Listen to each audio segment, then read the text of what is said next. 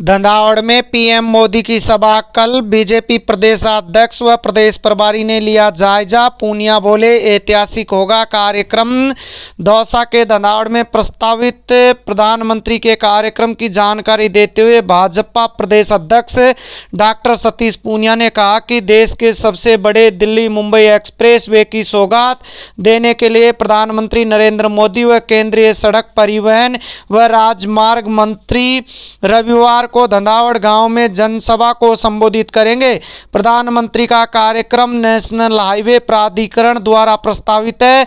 ऐसे में हमने प्रधानमंत्री के स्वागत के लिए जनसभा रखी गई है, जिसमें पूर्वी राजस्थान के जिलों की तीस विधानसभा क्षेत्रों के लोग बड़ी तादाद में शामिल होंगे, दो लाख लोग सभा में शामिल होंगे। जनसभा में पार्टी के सांसद और विधायक भी मौजूद रहेंगे। बारह तारीख को इस हाईवे का उद्घाटन करने के लिए आएँगे, शुभारंभ करने आएँगे।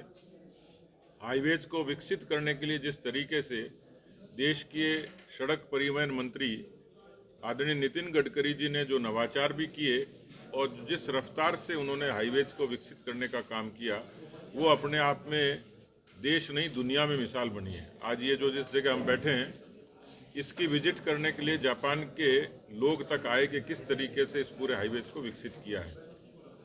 दोनों ही माननीय यशस्वी प्रधानमंत्री नरेंद्र मोदी जी और केंद्रीय मंत्री आदरणीय नितिन गडकरी जी ये कल पधारेंगे और इस हाईवे का विधिवत शुभारंभ करेंगे।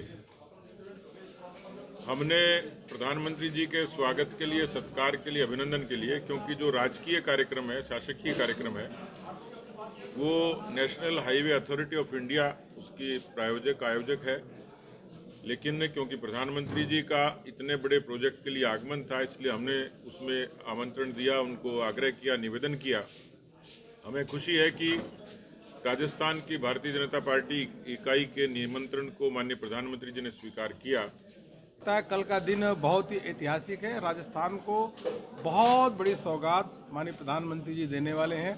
इसलिए राजस्थान की जनता बहुत बड़ी संख्या में आकर के प्रधानमंत्री जी का कल अभिनंदन करेगी।